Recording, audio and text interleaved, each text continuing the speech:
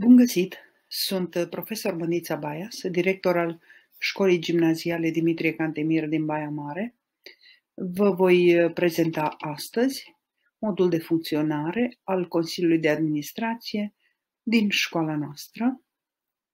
Am uh, creat un spațiu virtual pe Google Classroom și această clasă am numit-o Consiliul de Administrație. Așadar, i-am dat denumirea Consiliului de Administrație din Școala Gimnazială Dimitrie Cantemir.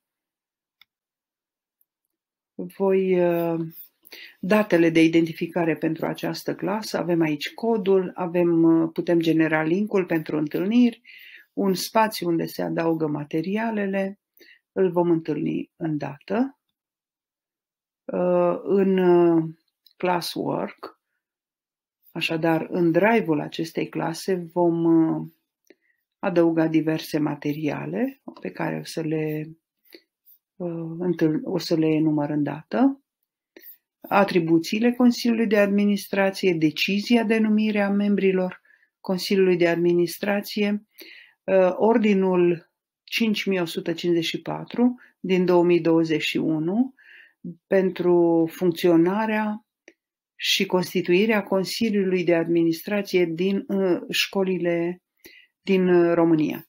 Vom mai întâlni în uh, drive-ul acestei clase hotărârile Consiliului de Administrație. Decizii, hotărâri, acte adiționale, toate vor fi aici. Hotărârile Consiliului de Administrație pot fi făcute publice sau poate fi făcut public către membrii um, pe care îi vom desemna um, tot conținutul acestui drive.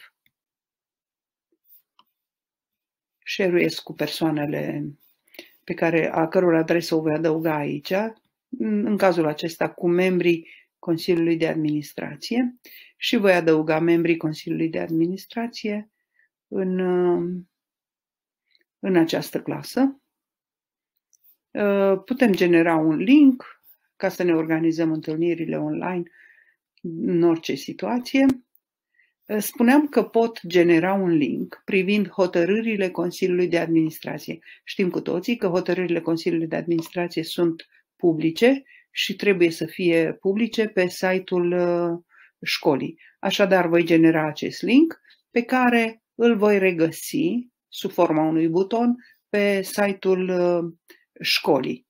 Și în felul acesta putem noi să ne încărcăm materialele în acest drive și să le regăsim pe site-ul școlii.